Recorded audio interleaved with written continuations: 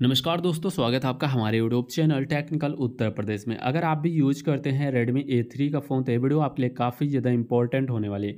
क्योंकि इस वीडियो में आपको लाइव एग्जांपल देकर दिखाने वाले हैं कि आप अपने Redmi A3 फ़ोन को अपडेट कैसे करेंगे। सॉफ्टवेयर या सिस्टम अपडेट करने का जो सही तरीका है, इस वीडियो में आपको बताने वाले हैं। सबसे पहले फ़ोन के शेडिंग में आ जाओ।